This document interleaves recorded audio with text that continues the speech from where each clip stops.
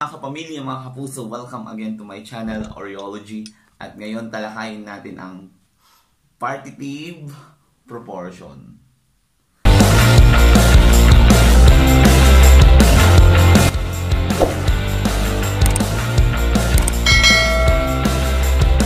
So, ano nga ba ang partitive propo- po- proportion? Pro- pro- proportion. Okay, so proportion by part. So, sabi, describe a whole being divided or distributed in two or more unequal part. Ibig sabihin, sa isang whole, sa isang amount, sa isang piece, no, hahatiin sa dalawa o mahigit na hindi magkakaparehas. So, describe that is in the form of ratio. Okay? So, paano nga ba mag-solve ng partitive proportion? Okay, so, example number one. An 80 meter rope is cut into two pieces. Given the ratio 7 is to 13, how long is the shorter rope? The longer rope. Okay, so, yung isang tali ng haba ay 80 meter. So, hinati siya sa dalawa na ang ratio ng dalawang portion na yun ay 7 is to 13. So, ang tinatanong, gaano kahaba yung maliit at gaano rin kahaba yung mas malaki. Mas mahaba pala. Okay. So, para i-solve yan, simply, 7 is to 13, gawin natin 7x at saka 13x. So, kabuuan yun, di ba, pag pinagsama. Ibig sabihin, pwede nating i-add to. 7x plus 13x equals, ano yung kabuuan? 80 meter. Okay? So, 80 meter, pwede nating solve to, find the value of x, which is 20x is equal to 80 and then divide both side by 20 so x is equal to 4 x is equal to 4 pero ang tinatanong how long is the shorter rope? So ang shorter rope natin ay si 7x so 7 times 4 equals 20, 28 so the longer rope is that 13x is 13 times 4 which is 52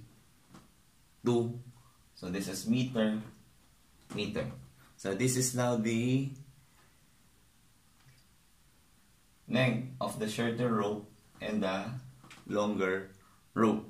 Okay next number 2 the ratio of the sides of the triangle is 2 is to 3 is to 4. If the perimeter of the triangle is 90 cm, what is the length of each side? Okay, so so ito yung ratio ng tatlong side. So, ibig sabihin, dahil hindi mo alam yung mga length nila, i-consider mo muna as 2x, 3x, and 4x. So, kapag tinotal natin sila, ibig sabihin magsasum tayo, ang kabuuan natin ay 90 cm.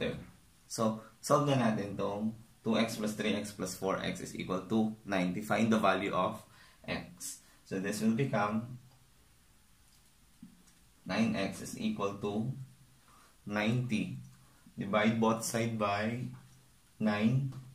So, x is equal to 10. So, what is the length of each side? So, yung shortest natin, so 2x is 2 times 10 is equal to 20. So, that is centimeter. Next, 3x is equal to 3 times 10 is equal to 30 centimeter. And the last, what is 4x?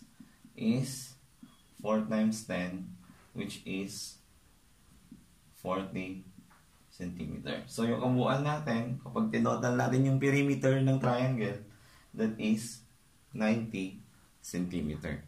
Okay, last. Number 3. In a class of 40 students, the ratio of boys to girls is 3 is to 5. So, ibig sabihin, boys to girls, boys to girls to, boys to si 3, girls si 5. So, how are girls? How many are girls? Are boys? So, solve muna natin. So, ang kabuuan natin ay 40 students. So, nahati sila sa dalawa, ng ratio ay 3 at saka 5. So, x plus 5x. So, solve natin na si value of x. So, this will become 8x is equal to 40. So, divide both side by 8. So, x is equal to 5. Next, so boys. Boys to girls. So, ang boys natin, that will be, that is 3x. So, 3 times 5 equals 15. So, yung girls natin, which is the 5x. So, 5 times 5 is 25.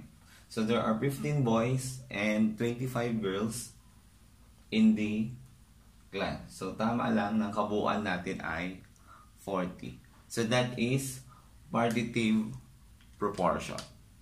That's all. God bless. So do not forget to subscribe and click the bell button para ma-notify ka kapag sakali may panibago akong video lesson. So that's all. God bless.